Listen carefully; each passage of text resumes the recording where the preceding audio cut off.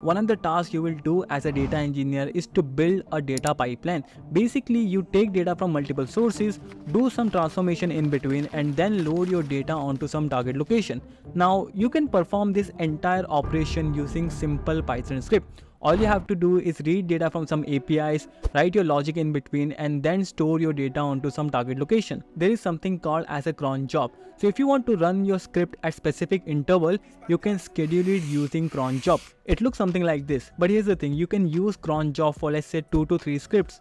But what if you have hundreds of data pipelines? We know that the 90% of the world's data was generated in just last 2 years and businesses around the world using this data to improve their product and services. The reason you see the correct recommendation on your YouTube page or the correct ads on your Instagram profile is because of all of these data processing. There are more than thousands of data pipeline running in this organization to make all of these things happen. So today we will understand how all of these things happen behind the scenes and we will understand one of the highly used data pipeline tool in the market called as Apache Airflow. So are you ready? Let's get started. At the start of this video, we talked about the cron job. As the data grows, we will have to create more and more data pipelines to process all of these data. What if something fails? What if you want to run all of these operation in specific order. So in data pipeline, we have multiple different operations coming. So one task might be to extract data from RDBMS, APIs or some other sources. Then the second script will aggregate all of this data and the third script will basically store this data onto some location.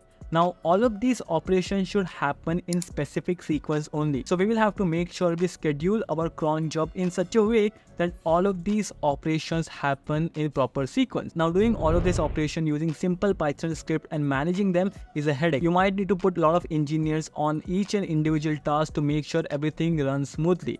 And this is where, ladies and gentlemen, Apache Airflow comes into the picture. In 2014, engineers at Airbnb started working on a project Airflow.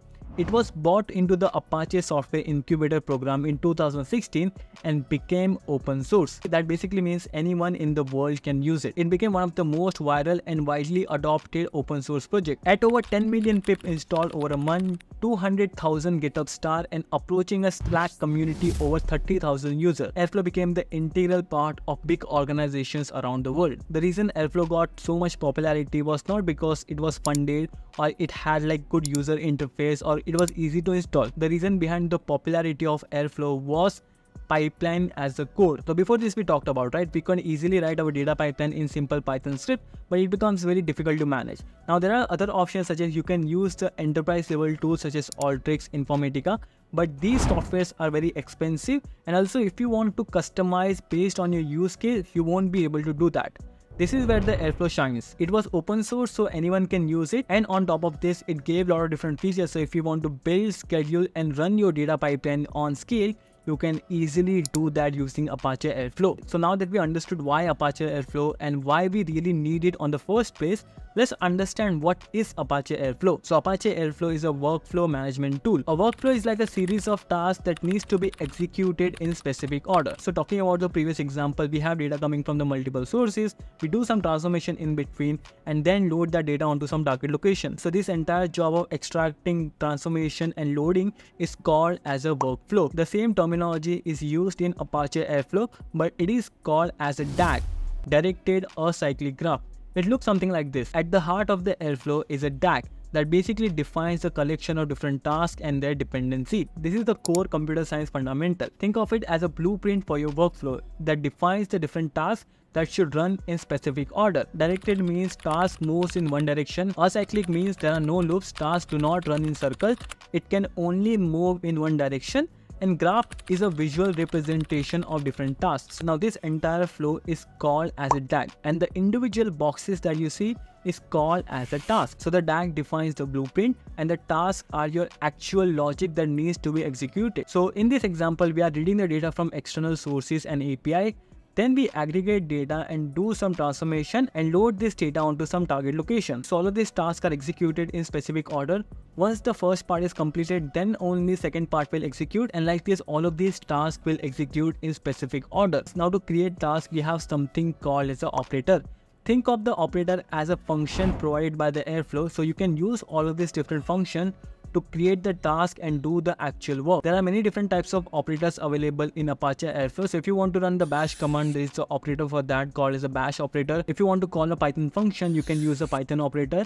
And if you want to send an email, you can also use the email operator. Like this, there are many different operators available for different types of job. So if you want to read data from PostgreSQL or if you want to store your data to Amazon S3, there are different types of operators that can make your life much more easier. So operators are basically the function that you can use to create tasks and the collection of different tasks is called as a DAG. Now to run this entire DAG, we have something called as an executors. Executors basically determines how your task will run. So there are different types of executors that you can use. So if you want to run your task sequentially, you can use the sequential executor. If you want to run your task in parallel in single machine, you can use the local executor. And then if you want to distribute your task across multiple machine, then you can use celery executor. This was a good overview of Apache Airflow. We understood why do we need Apache Airflow in the first place, how it became popular, and what are the different components in Apache Airflow that makes all of these things happen. So I will recommend the end-to-end -end project that you can do using Apache Airflow at the end of this video. But for now, let's do a quick exercise of Apache Airflow to understand different components in practice. So we understood the basics about Airflow and what are the different components that are attached to Airflow.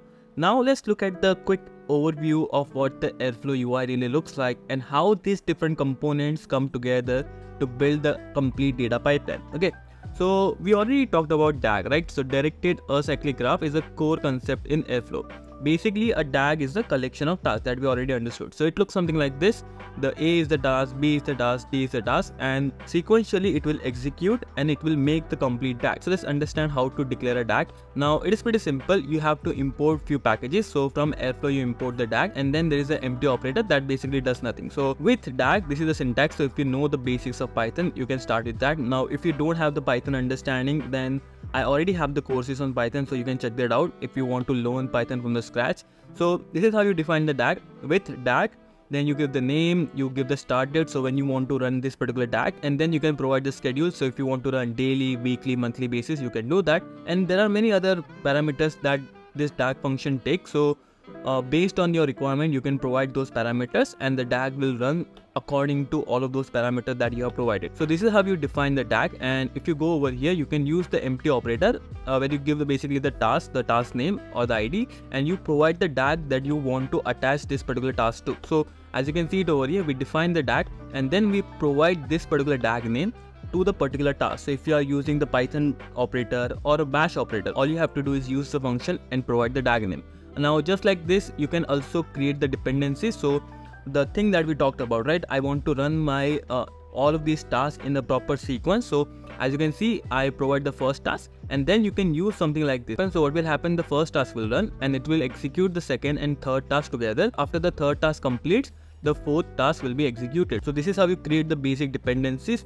Now, uh, this was just a documentation and you can always read about it if you want to learn more. So let's go to our Airflow console and try to understand this better. Okay, once you install the Apache Airflow, it will look something like this. You will be redirected to this page and over here you will see a lot of things. So first is your DAG. These are the example DAGs that is provided by Apache Airflow. So if I click over here and if I go over here, you will see uh, this is the DAG which is basically contains one operator which is the bash operator. Just like this, if you click onto DAGs, you will see a lot of different examples if you want to understand how all of these DAGs are created from the backend. Over here, you will get the information about the different runs. If your DAG is currently queued, if it's success, running or failed, this will give you all of the different information about the recent task. So I can go over here, I can just enable this particular DAG. Okay, I can go inside this and I can manually run this from the top. Okay, so I will trigger the DAG and it will start running. So currently it is queued. Now it starts running. And if I go to my graph, you will see it is currently running. Uh, if we keep refreshing it, so as you can see, this is success. So our DAG runs successfully. Now there are other options such as like failed, queued, removed, restarting, and all of the different statuses that you can track if you want to do that. So this is what makes Apache Airflow a very popular tool because you can do everything at one place. You don't have to worry about managing these things at the different places. So at one single browser, you will be able to do everything. So all of these examples that you see it over here are just basic templates. So if I go over here and check on to example complex, you will see a graph which is this complicated, right? You will see a lot of different things. So we have like entry group and then entry group is uh, dependent on all of these different things. So graph is pretty complex. So you can create all of these complex pipeline using Airflow. Now, one of the project that you will do after this is build a Twitter data pipeline. Now, Twitter API is not valid anymore, but you can always use different APIs available in the market for free and then create the same project. So I'll just explain you this code so that you can have the better understanding. So I have defined the function as run Twitter ETL and the name of the file is Twitter ETL, right? Uh, this is the basic Python function. So we are, what we are really doing is that extracting some data from the Twitter API, doing some basic transformation, and then storing our data onto Amazon S3. Now, this is my Twitter DAG.py. So this is where I define the DAG of my Airflow. Okay. So as you can see it over here, we are using the same thing from Airflow import DAG. Then from Python operator, I'm using the Python operator because I want to run this particular Python function, which is run Twitter ETL using my Airflow DAG. Okay. So I first define the parameters, which is like the who is the owner, start time, emails, and all of the other things. Then this is where I define my actual DAG. So this is my DAG name, these are my arguments, and these are my description. So you can write whatever you want.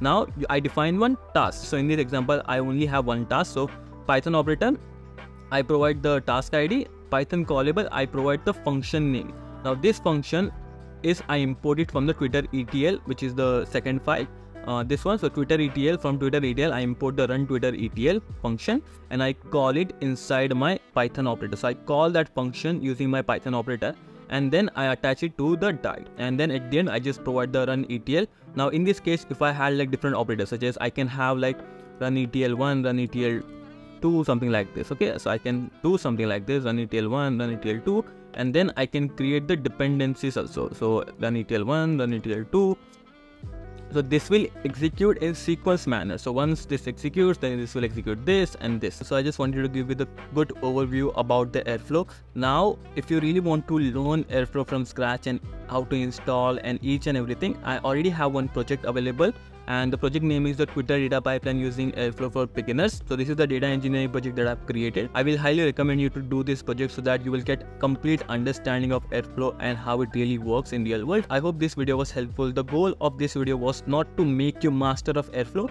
but to give you the clear understanding of basics of airflow so after this you can always do any of the courses available in the market and then you can easily master them because most of the people make technical things really complicated and the reason uh, i started this youtube channel is to simplify all of these things. So if you like these type of content then definitely hit the subscribe button and don't forget to hit the like button. Thank you for watching. I'll see you in the next video